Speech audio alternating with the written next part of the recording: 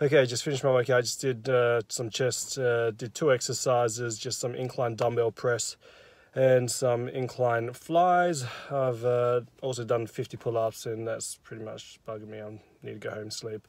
I'll upload, edit it and blah, blah, blah, then go home, shower, sleep and that's it. Peace out.